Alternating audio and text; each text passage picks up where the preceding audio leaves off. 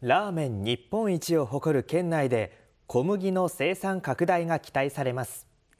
山形大学農学部は国の機関と共同でラーメン用小麦の独自品種の育成に取り組んでいることを明らかにしました。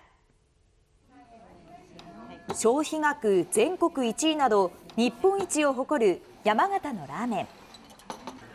しかし麺の原料である小麦の大部分は外国産であり県の生産量は東北6県で最も少ない状況です。こうした中山形大学農学部は2020年度から国の農研機構とラーメン用小麦の独自品種の開発に取り組んでいます。研究にあたる笹沼恒夫准教授らは地域に合った品種特性として雪の多い環境に耐えられることや食べた時の歯ごたえやつるつる感がしっかり出せることなどラーメンに適した品種を目標にしています。